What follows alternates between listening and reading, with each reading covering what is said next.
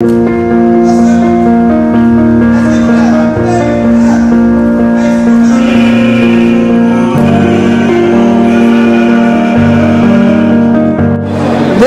convention was a blessing uh, for myself and also for the many people who came here just because of the fact that we were able to gather together uh, to, commu- uh, to commune, but also to really learn uh, the Word of God. We are a holy nation. We are a chosen generation. And we need to be different from others.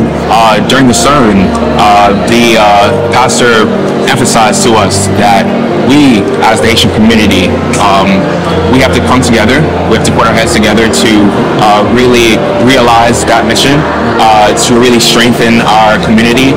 Uh, this reminder, this edification that we take the time to do each Sabbath, I think it's very important in continuing the work to spreading the God, spreading the vision that God wants to use us and that His uh, second coming is soon returning.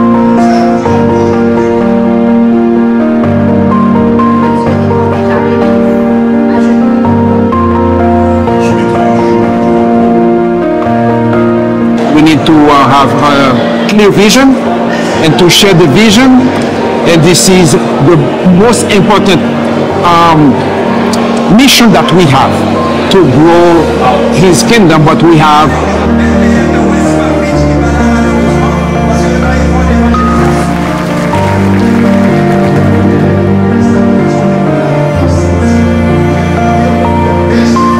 Today has been a blessing, blessing to be here. Uh, the Lord used me today as a, as a preacher for the young people, and it was a blessing to see the young people embracing the message of God, the vision that God has for us, the vision that we are a people, a Seventh-day Adventists, a people who are here to warn the world of the second coming of Christ. What I want to take back is continue to do the work of God, continue to share uh, the word of God with the community, uh, people who are perishing in darkness because of lack of knowledge.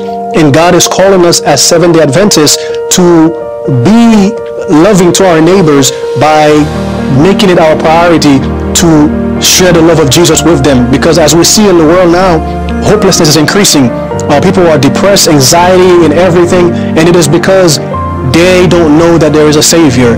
And our mission as Seventh-day Adventists is to go out there, reach to our community, especially as Haitians, to reach the community, to show them that there is a Savior. There is someone who loves them. Jesus is Jesus loves them, and Jesus wants the best for them.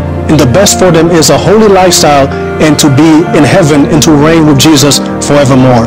Once again, it was a blessing to be here, and I hope we can see you guys next year at the next convention. Happy Sabbath.